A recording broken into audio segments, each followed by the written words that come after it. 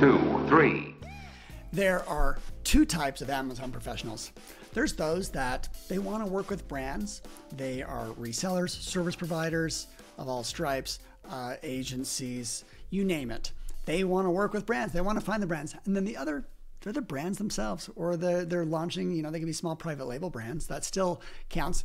And they just want to sell more today than they did. They want to sell more today than they did yesterday. So uh, today I'm going to talk about uh, three different categories of things. You know, I'm going to talk about these two types of Amazon sellers. We're going to jump into product categories that I would launch in today, and some. Uh, you know, I actually have a brother that's launching a product in a category that I'm like excited about. I've got a, good friend, a coworker launching in a category. I'm like, these categories have legs. So talk about a few criteria right there. And then, then I got a few observations that go against the grain. Some uh, news items. Today is Black Friday 2024.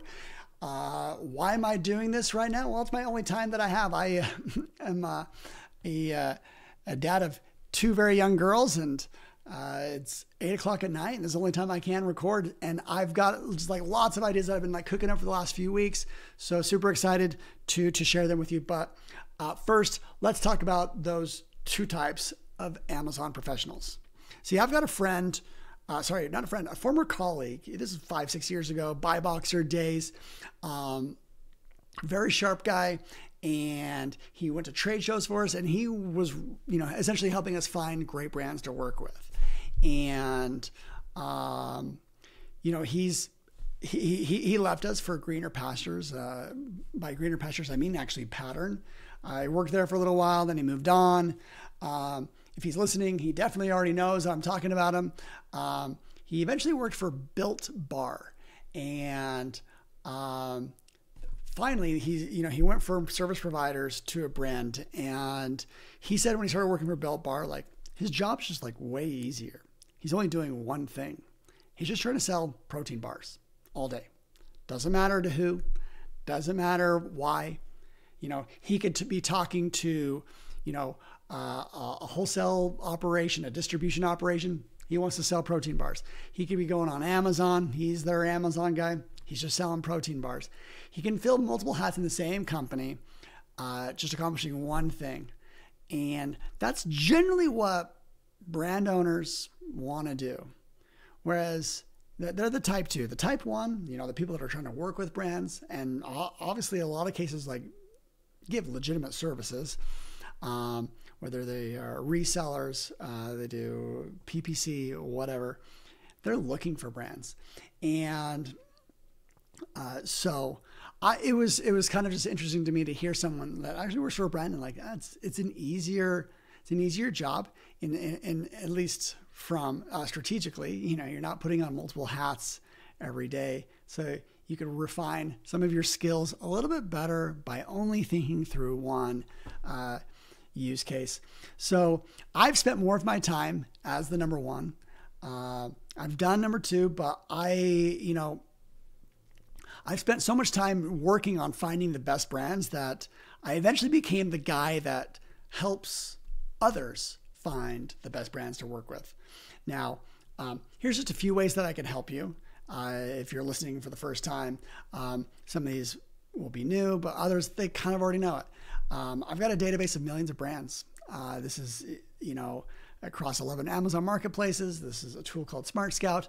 It just helps you understand what's going on and what brands are worth it. Um, the next, I've got a, uh, we've been going to a lot of trade shows and we've analyzed uh, over 100 trade shows, probably 200, um, and we find the best of the best these are the trade shows that have like you know 50 amazon brands that are attending and then we just give you uh, a report on all of them. You know hey uh, ces 3000 booths at ces the electronics show and um, here's the 100 that you actually would be interested in talking to if amazon is your game. Uh, considering that's generally all i talk about you probably will uh, be interested in that. All you do is just Google Smart Scout trade shows, and you'll see about 15 trade shows right there. You can get a report on each one of them, and you don't have to attend, or you can attend, and all of a sudden you know who to talk to. That's how we use it. So another way I could help you is uh, I've launched a conference for uh, Amazon sellers that want to work with brands. It's called AMZ United. Um, I've spent a lot of money trying to make, uh, trying to under, understand these brands and like the criteria around them that might be the most interesting. Um, so you could find your ideal brand. You know, there's half a million brands. For you, there's the best of the best. There's the top 20 brands and be like, okay, I think I could work with them. I think they'd be in my like, you know, these would be our ideal brands. Um, and finally, you know, if you actually want to reach brands, I've got a newsletter with 40,000 uh, people that read it. Uh, you, you, you could sponsor it. It costs like, I think, what is the latest price? See, about $5 million. No, not really.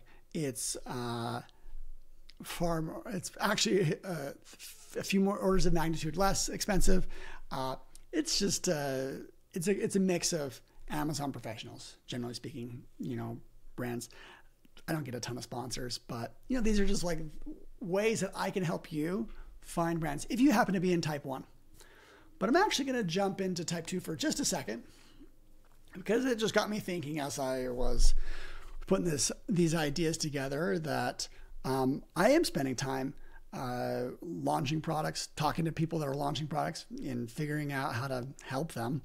Um, so in uh, and this actually did start through Amazon. Uh, sorry, Smart Scouts subcategories tool. That's where we have all forty thousand categories on um, Amazon. We analyze them, the criteria around them.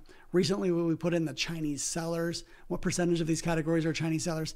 And you know, there's some major categories. That think grocery, beauty, consumables, pet products. Uh, that Chinese sellers really aren't very present, anywhere from zero to twenty percent and those are great categories because there's a few reasons, you know, why they don't. Uh, suppliers are in the U.S. Suppliers for most consumables, they're already in the U.S. And um, I can enumerate if you just like if you've ever bought from China uh, manufacturers and all the headaches, imagine the biggest headaches are gone. You know, your turnaround time is two weeks instead of three, four months. Your um, you could call them on the phone during regular business hours.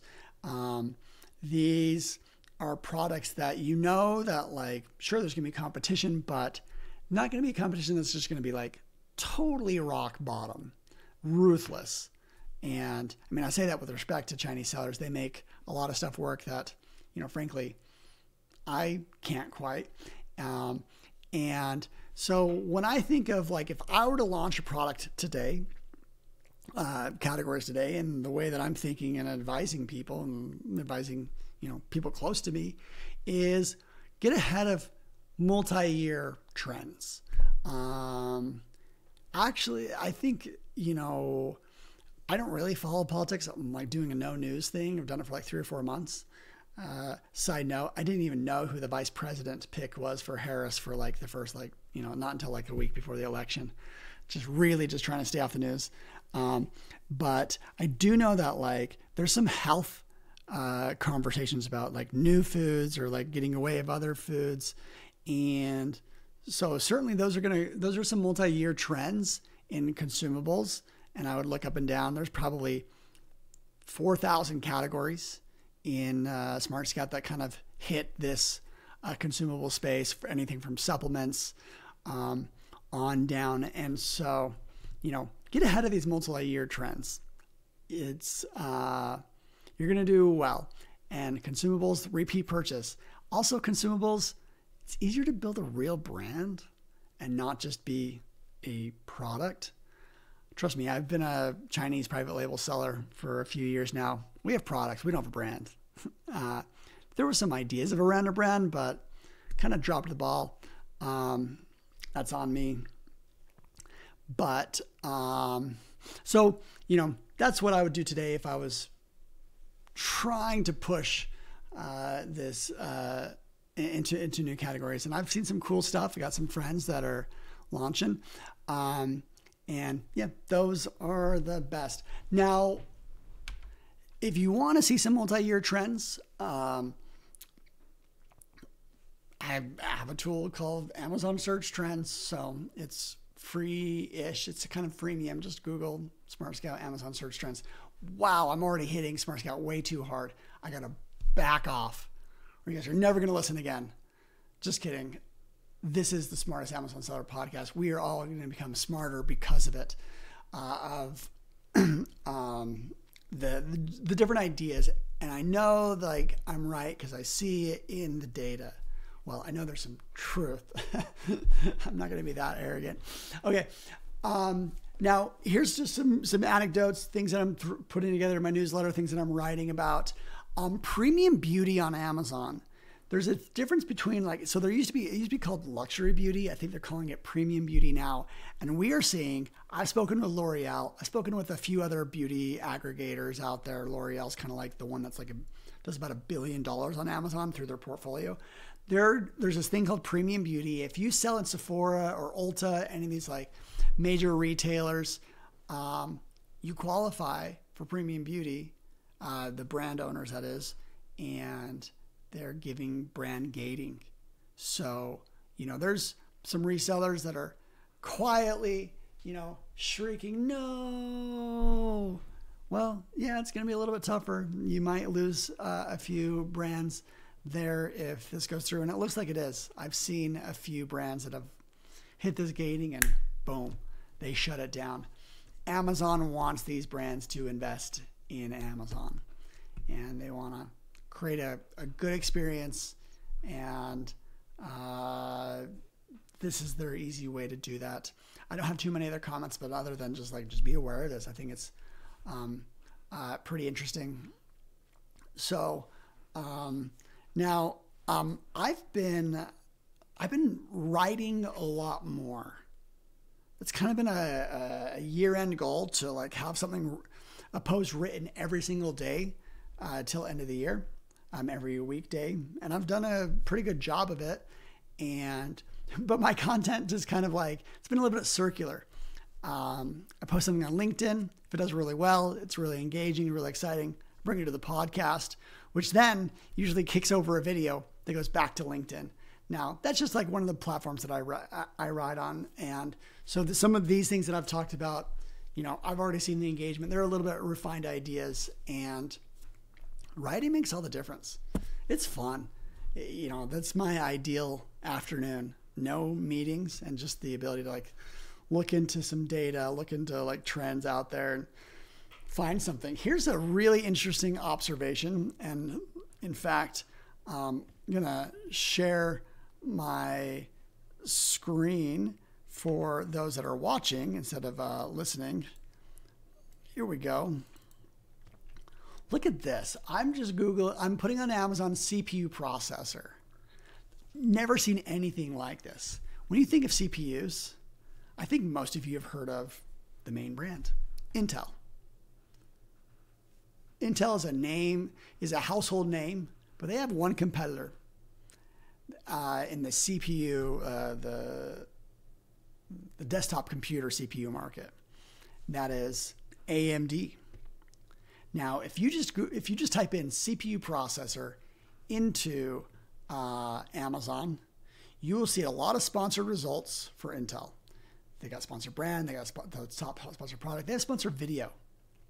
You'll see zero advertisements for AMD, but AMD has one, two, three, four, five, six of the top organic placements before you see an Intel one. And then you see one, two. Okay. Then it starts to get a little bit more mixed. I swear I've been here and I've seen even more organic for, for AMD. What's going on? How could a name brand company that is investing a lot in advertising lose so bad um, on Amazon? really, it just kind of comes down to price point. And I think AMD is kind of hitting that hobbyist uh, consumer and, and winning there. But it's just really cool to see because there's some compelling Intel. I've bought an Intel processor off of uh, Amazon. I'd do it again. I'd probably buy Intel just by brand name alone.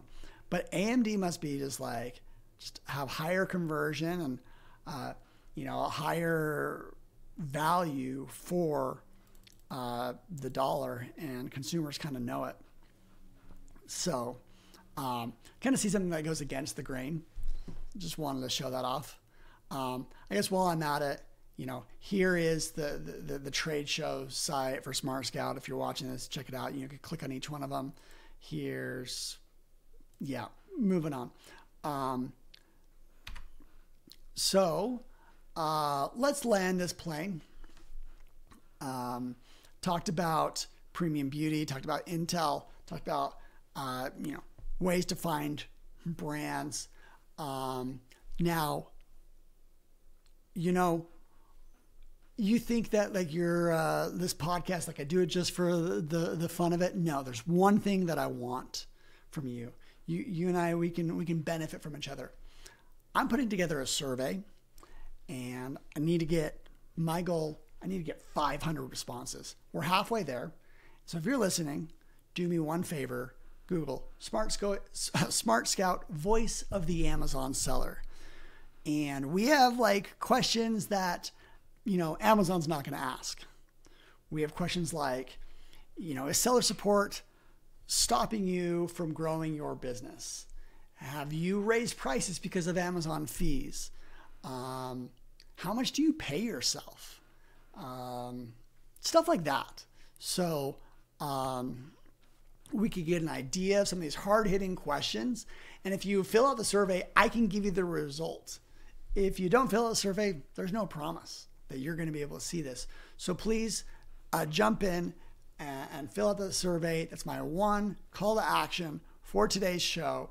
Um, and initial results are very interesting, but I need more so I can tease out, you know, if you're this type of seller, then you have this experience. I need I need enough that I can be very confident that it's not noisy data.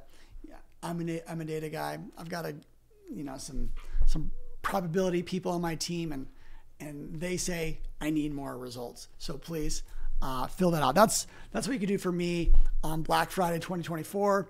I hope I did enough for you to make this uh, episode interesting, and uh, thank you for uh, spending a bit of time.